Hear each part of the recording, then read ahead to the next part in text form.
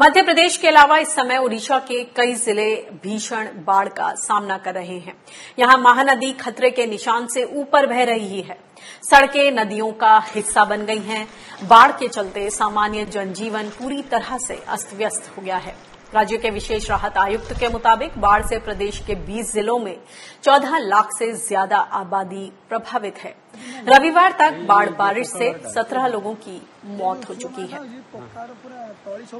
तो ओडिशा में जो बाढ़ है, जो प्राकृतिक आपदा है, उससे करीब 2000 से ज़्यादा गाँव प्रभावित हैं और जमीनी जानकारी लेने के लिए, अपडेट लेने के लिए हम जुड़ जाते हैं। सचिन महापात्रा जी, जो कि फ़ोन पर हमारे साथ जुड़ गए हैं, राष्ट्रीय प्रवक्ता हैं राष्ट्रीय किसान मजदूर महासंघ के। सचिन क्या स्थिति है? 2000 से ज़्यादा गाँव में बाढ़ आने से ज़िंदगी एकदम तितर बितर हो गई होगी।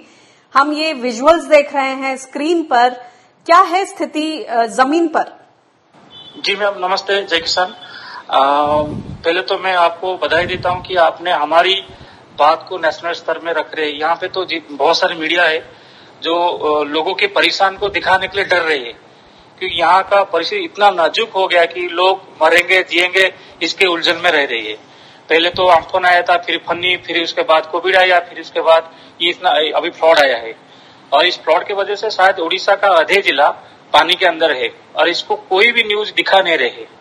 और सारे गाँव का अभी तो हमारी धान का बुआई का चल रहा था अभी धान का जितने भी मतलब स्टार्टिंग का था अभी हर हर ज़मीन अभी पानी के अंदर है। और किसान तो इससे बहुत परेशान है।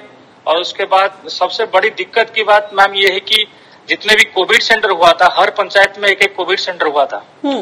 और वो आश्रय स्थल था बनने आश्रय स्थल था। और उसी कोविड सेंटर में अब लोग वहाँ पे रह रहे हैं क्योंकि उनका घर डूब रहा है और वो ऊंचाई का जगह था उसमें जाकर लोग रह रहे पता नहीं आगे आने वाले समय में इसका स्थिति क्या होगा।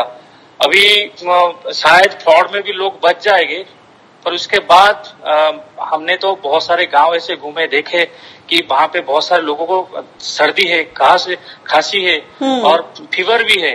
तो यानी कोविड का भी खतरा मंडरा रहा है और उस फ्रंट पर भी व्यवस्था जो है काफ़ी खराब होगी। स्वास्थ्य सेवाएँ डॉक्टरों की दवाइयों की उपलब्धता क्या स्थिति है? मैम, बिल्कुल, यहाँ पे सरकार बिल्कुल फेल्यूर है। यहाँ पे कुछ भी काम नहीं हो रहा है। लोगों के पास ना खाने का, पीने का, ना मेडिकल फैसिलिटी का। सबसे बड़ी दिक्कत हुआ रहने का भी यहाँ पे फैसिलिटी नहीं है।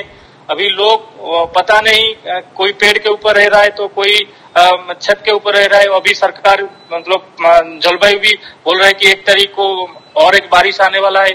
पता नहीं लोगों का क्या हाल होगा। शायद भगवान की बचा सकते इन लोगों को। ओडिशा के किसान मजदूर और जितने बहुत सारे लोग मजदूर थे जो प्रवासी ओडिशे वासी थे बाहर काम कर रहे थे अभी वो भी रिटर्न आ गए ओडिशा में।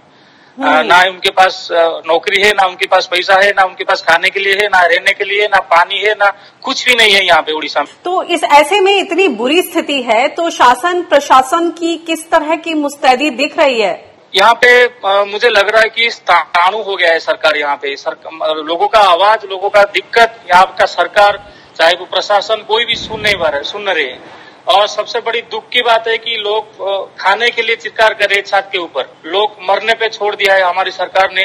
और लोग किसान चाहे हो चाहे महिला हो बूढ़ा हो बुज़ुर्ग हो छोटे बच्चे हो ये सब पानी के अंदर है। जी आप अपना ख्याल रखें और साथ में जो रिलीफ वर्क आपका संगठन और आप लोग जो कर रहे हैं उसे जारी रखें अपना ख्याल रखते हुए और हम उम्मीद करते हैं कि शासन प्रशासन फौरी तौर पर वहाँ पर मदद उपलब्ध करा सके। शुक्रिया इस अपडेट के लिए।